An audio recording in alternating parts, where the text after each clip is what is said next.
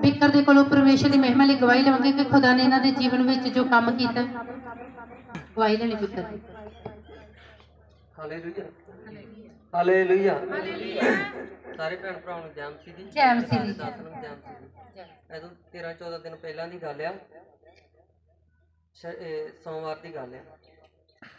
ਆਪਾਂ ਦੋ ਜਣੇ ਜਾਣਦੇ ਸੀ ਜੇ ਕਿਤੇ ਕਿਸੇ ਕੋਲ ਪੈਸੇ ਲੈਣ ਤੇ ਮੇਰੇ ਨਾਲ ਇੱਕ ਅੰਕਲ ਸੀ। ਉਹ ਮੋਟਰਸਾਈਕਲ ਚਲਾਉਂਦੇ ਸੀ ਤੇ ਮੈਂ ਮਗਰ ਬੈਠਾ ਸੀ ਅਚਾਨਕ ਹੀ ਮਗਰੋਂ ਇੱਕ ਗੱਡੀ ਆਈ ਤੇ ਸਾਡੇ ਦੋਵਾਂ ਦੇ ਵਿੱਚ ਵੱਜ ਗਈ ਤੇ ਖੁਦਾ ਦਾ ਇੰਨਾ ਧੰਨਵਾਦ ਹੈ ਕਿ ਚਲੋ ਮੈਂ ਕਹਿੰਦਾ ਕਿ ਉਹ ਵੀ ਖੁਦਾ ਦੇ ਨਾਲ ਆ ਬੰਦਾ ਸੀ ਬਚਾਉਣਾ ਚਾਹੀਦਾ ਬਾਕੀ ਖੁਦਾ ਨੇ ਮੈਨੂੰ ਝਰੀਟ ਵੀ ਨਹੀਂ ਆਉਣ ਦਿੱਤੀ ਤੇ ਉਹਦੀ ਵਿਚਾਰੇ ਦੀ ਲੱਤ ਟੁੱਟ ਗਈ। ਤੇ ਖੁਦਾ ਨੇ ਆਪਣੇ ਪਵਿੱਤਰ ਹੱਥਾਂ ਵਿੱਚ ਲੈ ਕੇ ਬਚਾ ਲਿਆ ਮਾਸਾ ਜਿੰਨੀ ਵੀ ਦਰਦ ਨਹੀਂ ਹੋਈ ਬੜੀ ਤੇਜ਼ ਟਿਕਾ ਮੈਂ।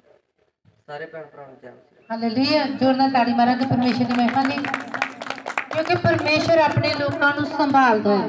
ਹਾਲੇਲੂਇਆ ਉਹ ਆਪਣੇ ਦੂਤਾਂ ਨੂੰ ਹੁਕਮ ਕਰਦਾ ਹੈ ਕਿ ਉਹ ਤੁਹਾਡੇ ਸਾਰੇ ਰਾਵਾਂ ਵਿੱਚ ਤੁਹਾਡੀ ਰਾਖੀ ਕਰਨ। ਹਾਲੇਲੂਇਆ ਤਾਂ ਪਰਮੇਸ਼ਰ ਨੇ ਆਪਣੇ ਸਵਰਗੀ ਦੂਤ ਦਿੱਤੇ ਤੇ ਆਪਣੇ ਲੋਕਾਂ ਦੀ ਰਾਖੀ ਕਰਨ ਵਾਸਤੇ, ਆਪਣੇ ਲੋਕਾਂ ਨੂੰ ਬਚਾਉਣ ਵਾਸਤੇ। Hallelujah hallelujah